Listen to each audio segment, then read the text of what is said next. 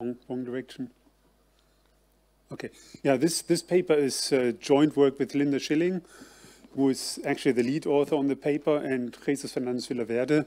Uh, you know, Linda is very busy already having presented paper and, you know, being in the panel discussion, so therefore I get to present this paper. So, but uh, bear with me then. All right.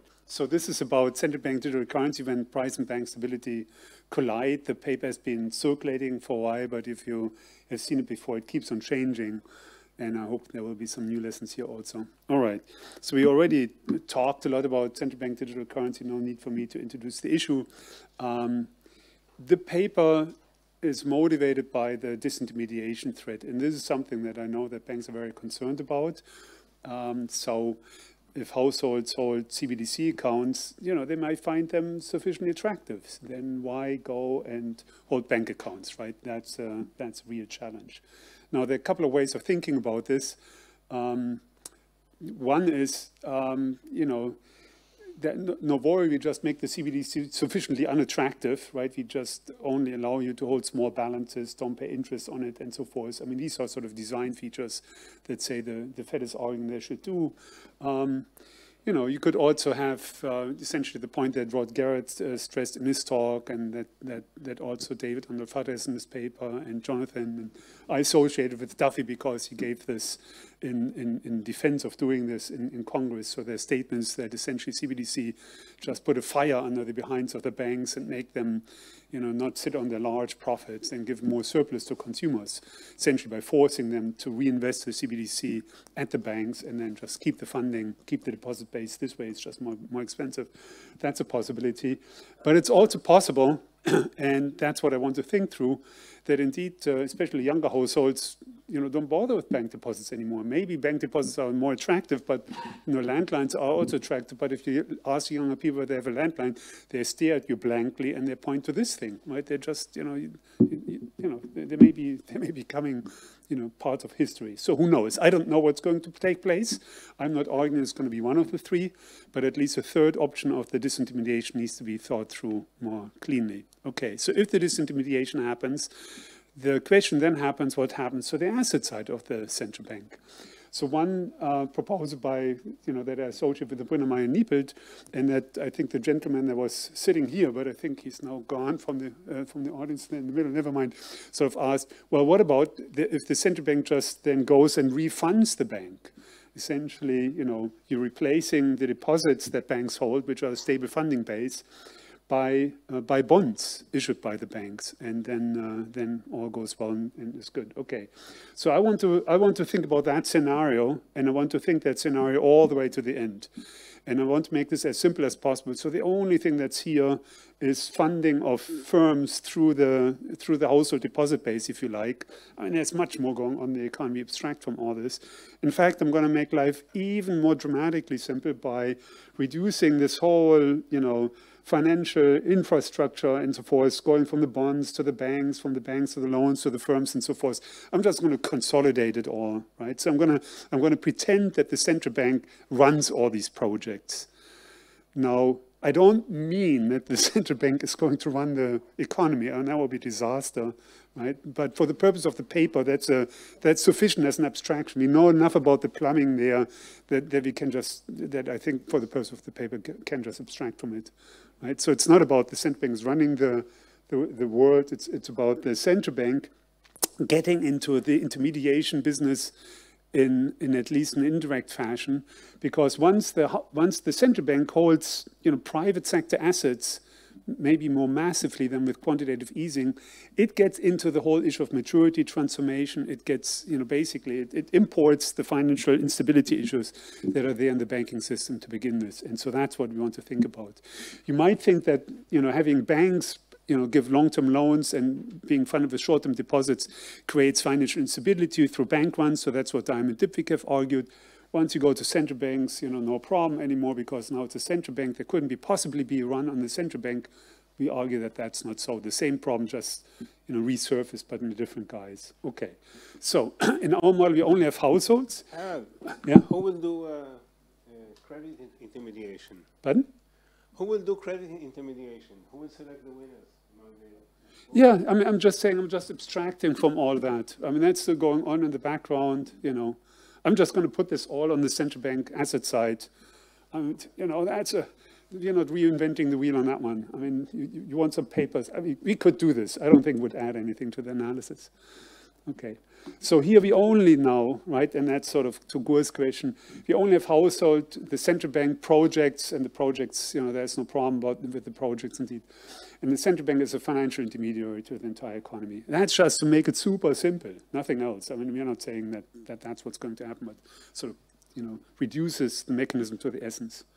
Okay, so the key mechanism is now that we're going to have that we have to do with the, with maturity transformation. Diamond Dybvig is the benchmark model for doing that, so we think about this.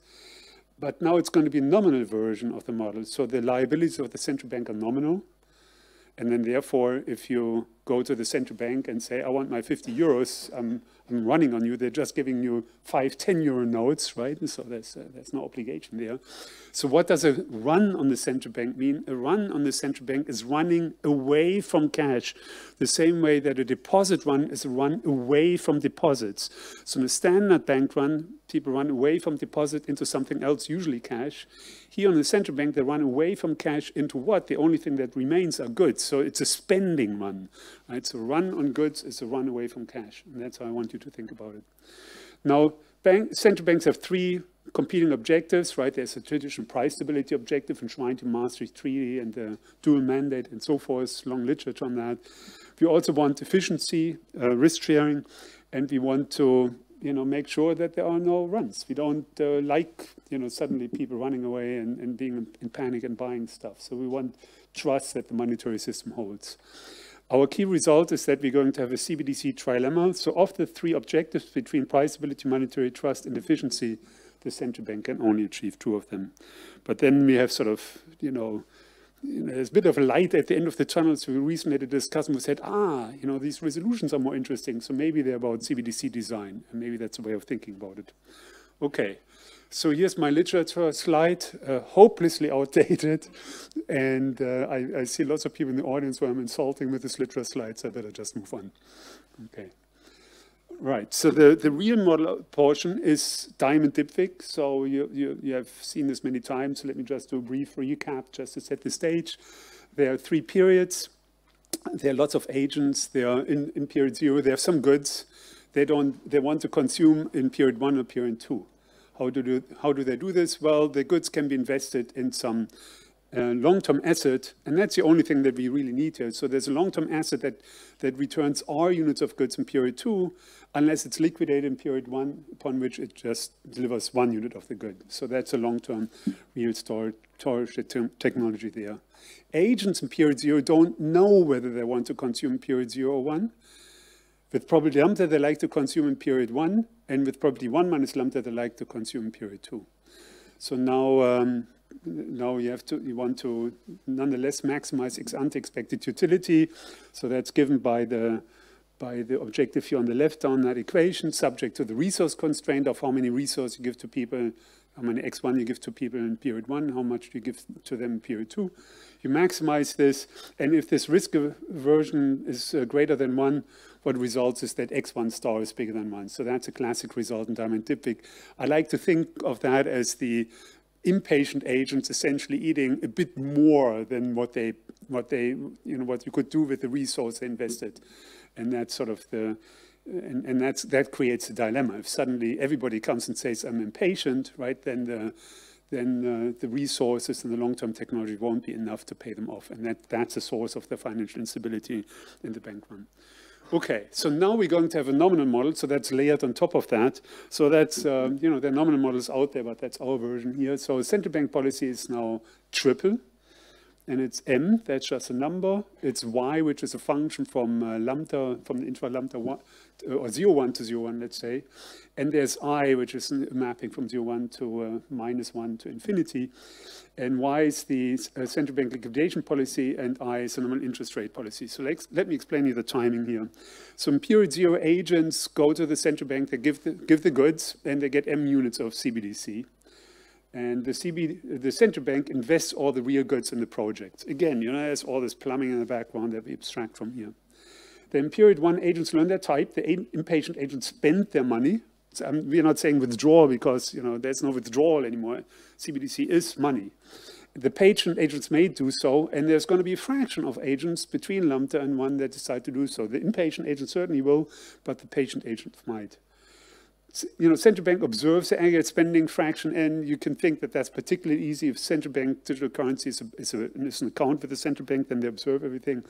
Uh, but even if it's token, maybe they have enough, you know, observations to uh, to see this. So therefore, the central bank then liquidates a certain fraction of its long-term projects in order to, to satisfy these shopping demands, depending on the fraction of agents that now go shopping, right? N is the fraction of agents that goes shopping in period one and then there's market clearing price, and then the remaining agents spend, uh, you know, the remaining balances, you know, including interest in period two, and, and the central bank sells the remaining part of the project.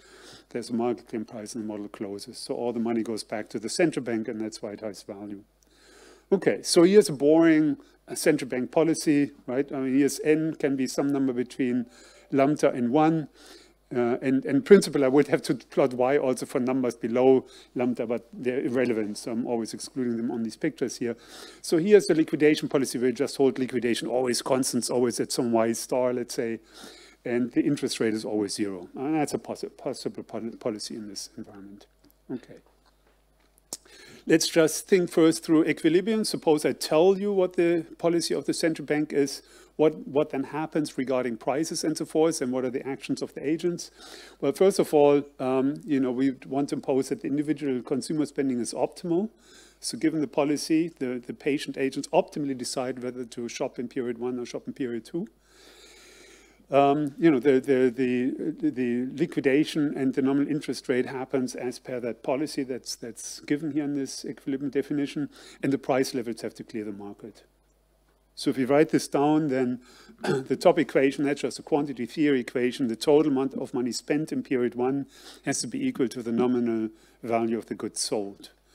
And you can, uh, you know, you can read that, I mean, you can read that equation various ways, right? I mean, either um, depending on n, and if, I mean, suppose you hold y constant, just as one example, suppose you hold y constant and adjust, then the price level would have to adjust. So that will be the case with flexible prices. But you can equally well read it as a fixed price scenario, sort of super Keynesian. If P1 is constant and n moves, then yn has to move. And that's actually an interesting interpretation to which we'll come back later. And then you have something about period two. They have complicated formulas for period two, lots of black ink. I keep them on the slide. They turn out to be not so important. The only thing that's important about them is that, you know, stuff happens in period two and it's related to the nominal interest rate and it actually moves the price level in period two, but nominal interest rates don't do anything else here. So you might think that the problems we get, we get, that I'm going to show in a moment, can be resolved through nominal interest rates, and the answer is no. The nominal interest rates only move the price in period two. Okay, so watch what happens in period one. That's the key. All right. Then we can go to the real allocation. And for the real allocation, you're going to see that money is just a wheel. So if you just take the total uh, spending and divide by the price level, you find that the n agents just split the liquidated uh, portion among themselves. So x1 of n is just the total real liquidated portion y1 of n divided by n, and a similar formula holds for the period two. So there, you know, the whole, all the CBDC and so forth, once we arrive here, doesn't matter. The real allocation is entirely driven by the real liquidation policy. And then therefore, given n patients, agents spent in t equals 1 if x1 of n is bigger or equal than x2 of n, or maybe strictly bigger depending on your taste. Okay, oops. So now, uh, oops, let's see, uh, um, this is, what's going on here, sorry. Here we go, okay. So now we say there are three competing objectives for the central bank right? So the central bank has a price stability objective. I should have ordered them differently because I'm going to talk about efficiency first, then about monetary trust. I'm going to talk about price stability last. But uh, so maybe maybe let, let should have reordered that list. Apologies. So efficiency is the central bank wants to get the efficient outcome that you see in Diamond Dybvig. We know what that is. Uh -huh. clarifying question. And fiscal policy? Uh, There's no fiscal policy. How no. is interest, how does the central bank finance the interest payment? It's nominal interest. So it right? just prints money? It just creates money, just yeah. So you have a CBDC account, it says $100. You wait a period two, you have $200. Thank you. That's it. It's just, it's just electronics. Uh, nothing happens to, the, but, but, the real stuff they can't change, right? The real technology is given. I mean, that's, that's key. Yeah. So efficiency means optimal risk sharing. So you want the you want the Diamond Dybvig solution. Monetary trust means you don't want uh, patient agent to spend period one. All right, and then uh, and then price stability. Well, price stability is price stability. The central bank likes to keep price stable. I have more. I started at 27. I have 30 minutes to talk. So sorry, huh? I'm not going to cut short here. I'm not playing that game. See, that's why these things are more useful than landlines. You know, now you know. Okay. Okay, so let's talk about efficiency first. The efficient outcome is, um, you know, if, you know, that's an equilibrium when, well, if only the impatient agent spent in period one, you want that, right? Because that, that's needed for efficiency. And if indeed you liquidate exactly this amount y star, which is given by lambda times x1 star, where x1 star is the solution to the Diamond Dybvig problem. So efficiency, very clear what that means here. But it's only at n equals lambda, right? For n different from lambda. Once you have n different from lambda, you're no longer in the efficient outcome. Okay. Let's talk about objective three, monetary trust. So monetary trust here is a, you know, I mean, it's a run on the central bank, a spending run. So what does it mean? Well, it means the same thing as in Diamond Dybvig. More than just the impatient agents go shopping in period one. You know, turn whatever they have into something else. So run occurs if n is bigger than lambda. That's our definition. Seems very plausible. So you think uh, runs on central banks can't happen? Well, they certainly can happen here. And um, you know, what, how do you how do you how do you think about this? What you want as a central bank? Well, you want to implement policies, or you seek policies perhaps, so that this won't happen. So that agents don't have an incentive, patient agents have never an incentive to spend in period one. That would be monetary trust. Then people in period zero know, you know, from the get-go, no such a scenario could never happen. Pardon? Well, I'm getting there, so I'm going to show you that in picture, but excellent question. That's, that's important, that's going to be key. So the mon, run, money loses its store value function. That's, you know, that's maybe the thing. The patient's agents uh, purchase goods now and hoard them. The trust and monetary system evaporates, so that's simpler to a temporary pandemic stockouts, hyperinflation, currency crisis. It's different from a systemic bank run, because in a systemic bank run, what people do is take their deposits and turn them into cash. They may not, they, I mean, they might go spending, but that's typically not what we think in a systemic bank run. Okay, so here's a picture. This is normal times. Period zero, you get some cash. And then if you're patient, impatient, period one, you go shopping, you get some toilet paper. Period two, you also get some toilet paper. And this is a run on the currency. Well, in this small market, didn't happen everywhere, but you're familiar with these pictures, right? So in period one, everybody goes shopping, you buys the toilet paper, and then there's a stock out in period two. So we have seen, we have certainly seen markets like that over and over again. So now imagine this happening on an economy-wide scale. All right, so implementing efficiency monetary uh, trust is uh, just means that you have to be at y star for m equals lambda, and you have to make sure that your liquidation policy otherwise is such that the patient agents never want to go shopping in period one. So that there's an inequality, right? So x2 has to be larger than x1 for all n. And if you go through the math, that means that your liquidation policy has to be smaller than this y bar n. So y bar n is how far you can go in terms of your liquidation policy if you want to maintain monetary trust. Okay, so if you don't go too far with your liquidation, that means um, you know, then, then you get efficiency and you get monetary trust. But run deterring policies now imply that the price level is going to be high in period one. What's the intuition here? Essentially, in order to have patient agents not want to go shopping in period one, you need to make sure that if there are lots of agents that go shopping, there aren't that many goods. And if there aren't that many goods, but lots of people are going shopping, lots of money chases few goods, and that means the price level goes up. So, so, so monetary trust and price stability are actually competing, they're, you know, they're, they're at opposite ends, you know. So let me show this in the picture, right? So on the left, you see, you, you see, the, um, you see the liquidation policy, and the red line is this upper limit that I talked about. If you just liquidate always the same amount Y star, I mean, that would satisfy this run deterring limit. That would be, you know, establishing monetary trust, that's fine. But on the right, you see what happens with prices. If you keep Y always equal to Y star, you get a diagonal line in terms of the prices because you're just increasing the number of people spending without increasing the number of goods. Even for this run deterring policy, you see that the red line is rising. And you might say that's fine. You know, we're just wanting deter runs. This is off equilibrium. Um, you know, it's just the central bank appears here is, you know, what, what you can think of it as saying, you know what, you know, if lots of people go shopping, we're not going to liquidate any goods. I mean, trust us, right? We're not doing this. Well, you know, is this credible? Um, you know, is that what's going to happen? So if, if indeed more than lambda agents go shopping, would the central bank stick to this promise?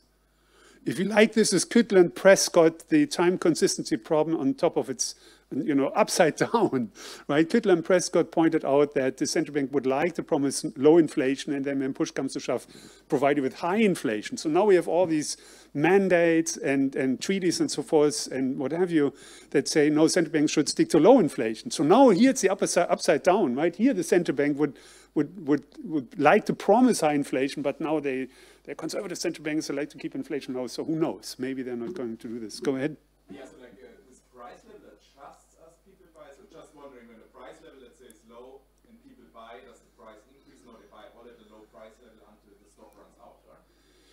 No, there's market clearing, right? The market, there's a market clearing condition, right? There's no stock runs out here. Okay, they don't buy all cheap until the last, uh, essentially until the stock is depleted. No, I mean, you know, there's a certain number of goods, certain number of people shopping, and there's a market, there's market clearing.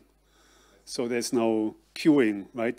I mean, that's the other thing about CBDC. We are, they're all sitting there electronically. You know, should I buy, should I buy, you know, coffee, yes or no, clunk, and they hit it, right? And uh, either the price level adjusts or the liquidation has to adjust at that time. If the price is constant, then liquidation has to adjust. But I, I, I, I mean, I'll show you a version of what you have in mind, I think. So let, give me just, hang on there. Okay, so price stability objective. You know, this is a question that always comes up in this talk. Why do we have a price stability objective for the central bank? And then, you know, I always throw up my hands in despair. I mean, there are 50 plus years of extensive literature on that topic. So pick your poison, you know, whatever is your favorite, uh, you know, validation for this. So it could be a traditional central bank objective. I'm going to talk a little bit more about that. It could be the mandate or the treaty. It's in the Maastricht Treaty. Just look it up right? It could be that there's efficiency loss with higher inflation, so that's sort of a standard Keynesian agreement.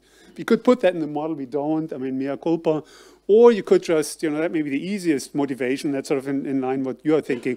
Just assume that prices are fully sticky in period one. When you go, when you go through all the plumbing on the asset side, you know, prices, for some reason, firms can't change price in period one, so they just have to match demand at, as these prices change. Okay. So if I go through the first one, you know, and then, then I kind of do the last one also as a, as a limit case, and imagine there's a price stability objective. So the, the objective of the central bank is now a mix of two terms. The first one is just the standard, you know, utility, expected utility that we have from Diamond Dybvig. So that's, that's written down here again. But the second portion is how far are you from some target price P bar? You want to be at some P bar, and if you're away from that in period one, you know, then the central bankers feel uncomfortable. Okay, so now we want to think about the time consistent or subgame perfect equilibrium. You see n, central bank sees n, and then says, oh, you know, now let's maximize this objective two, and that gives the yn.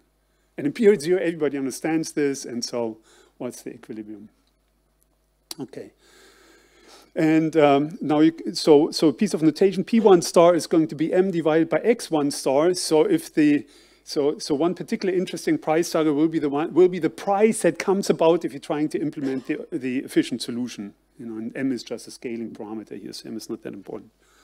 Okay, so this is what it looks like. So this is a somewhat convoluted plot, but here you're seeing the uh, liquidation policies, right? So if I make alpha lower and lower, you, you start liquidating more and more. So this blue curve kind of shifts upward on the left. It shifts upward because you're trying to put more goods on the table as lots of money is chasing goods if you have a price stability objective.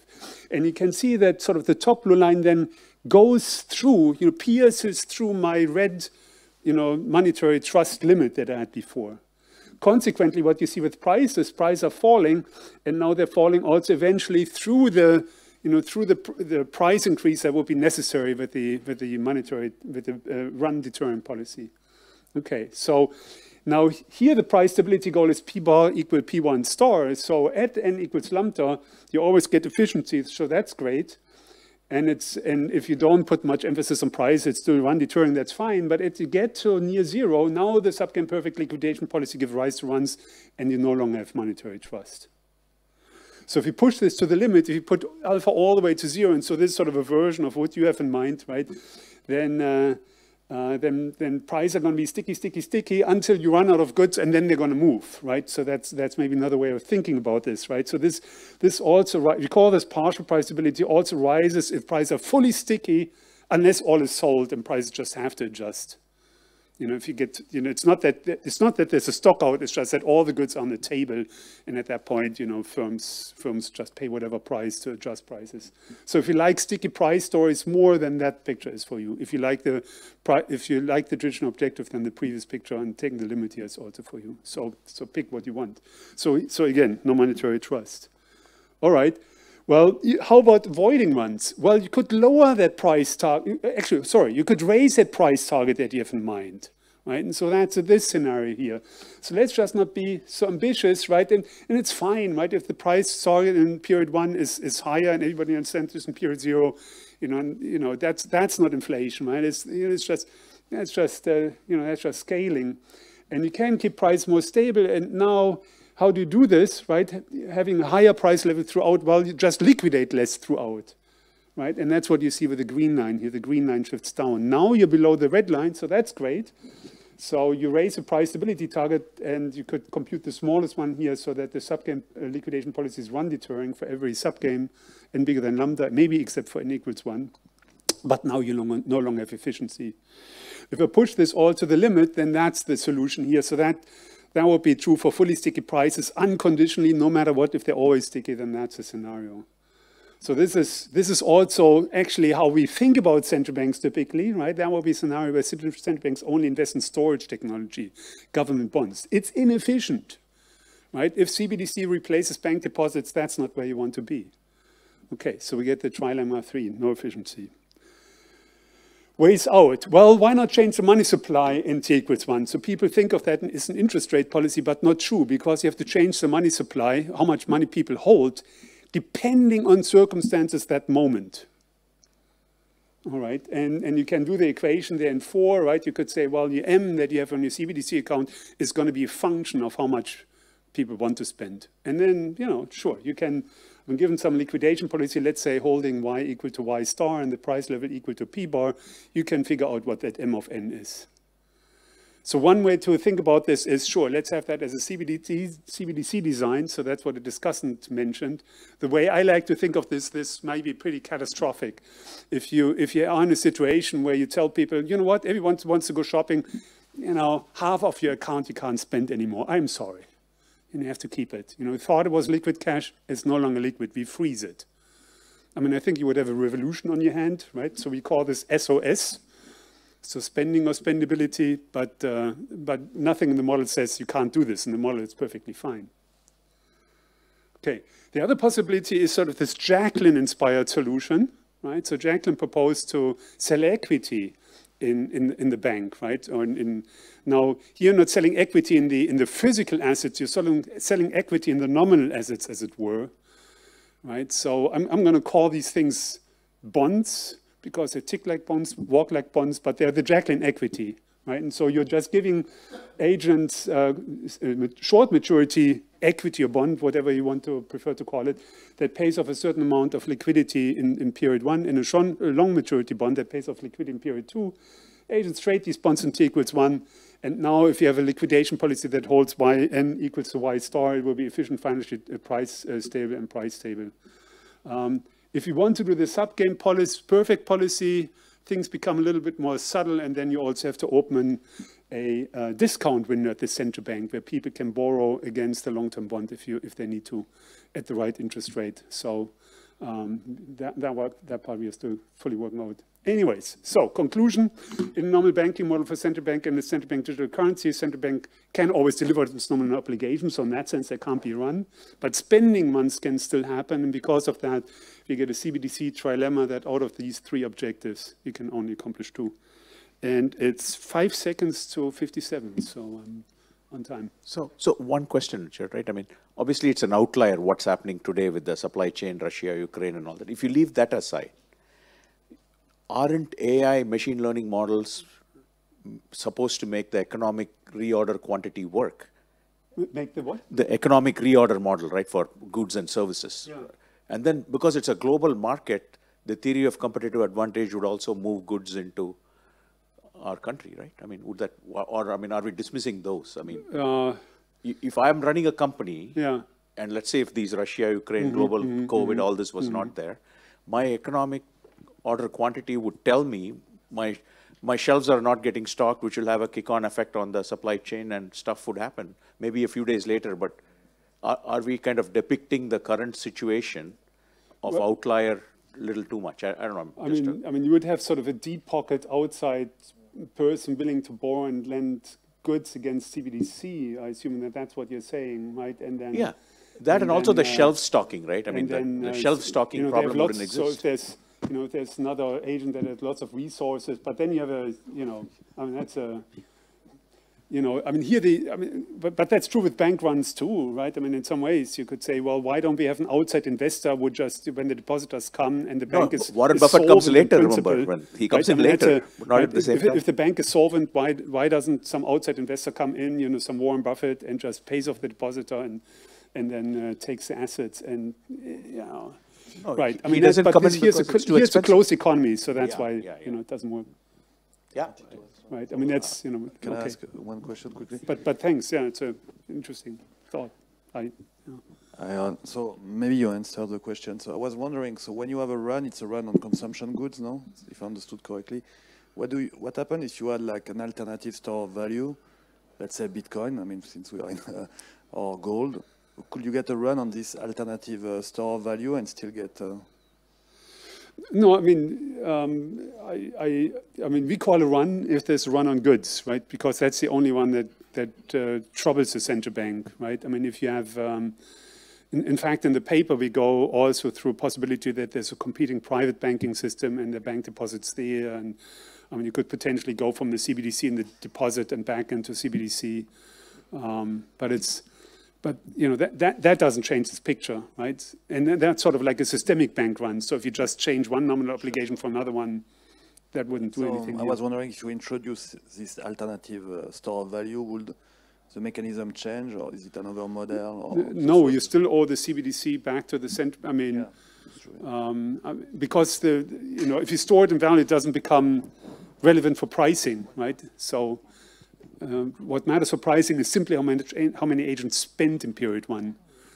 Now, it's true you could also call that a one if ever it turns the CBDC into Bitcoin and then repays the central bank because, you know, uh, and then and then turns Bitcoin back. I mean, actually, the question is would would then buy the Bitcoin period two, but leaving that aside for the moment, turning that back into CBDC money. But that's not that's a different type of run. That's a nominal run or systemic bank run that we don't consider here.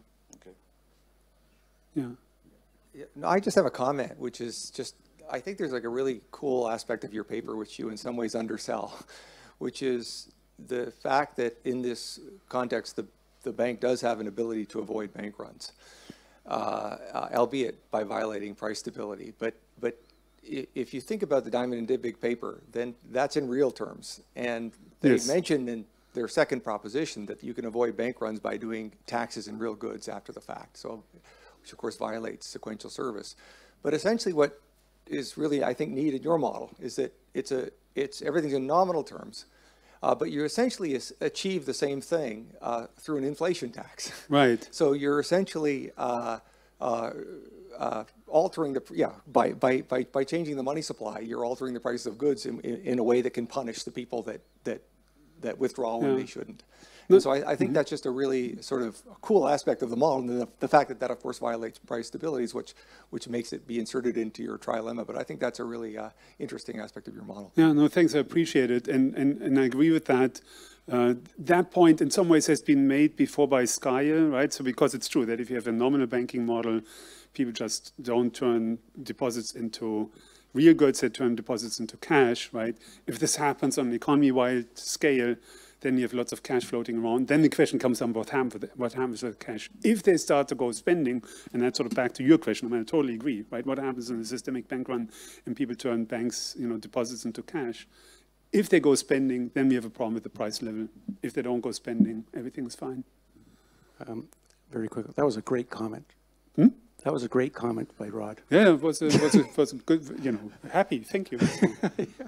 Uh, Two quick questions. One is on the credibility issue of suspending uh, redemptions. You, you asked the question rhetorically, do you think that the central bank would have that commitment power? Well, since we're in this conference, I mean, what, what if we uh, power this redemption policy through smart contracts that kind of, you could build in the commitment power, pro, just program it in? That's one question. Yeah. Second question is on this.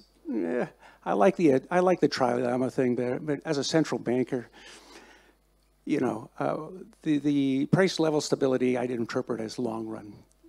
You know, we're, we're willing to sacrifice short run variability to even threaten it to achieve stability. So, I don't know if it's like a violation of the mandate, but Yeah, I mean, tell that to Jeremy Powell right now. Yeah, Eight I percent guess. inflation. Who cares? You know. I get that you want the trilemma. So, No, I, I think inflation. I mean, I mean, look at the inflation response now, right? I mean, uh, you know, it's it's a disaster. I mean, you know, it's a disaster. It's it's it's perceived as a disaster.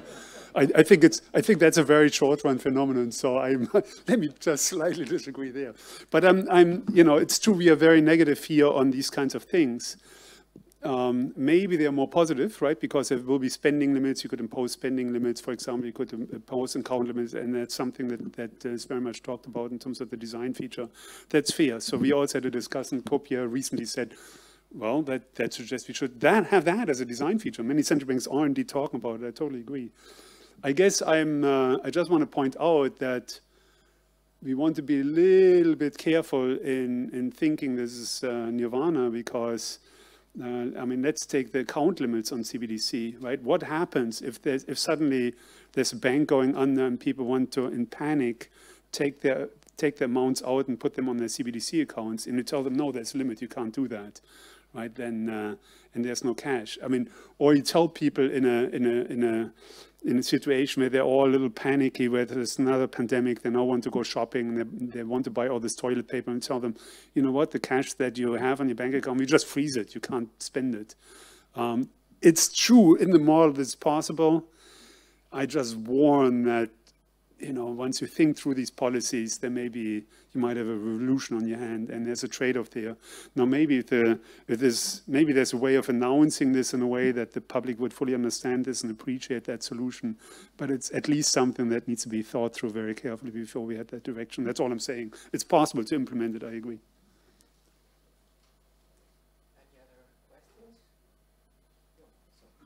All right, thank you, thank you for all the questions.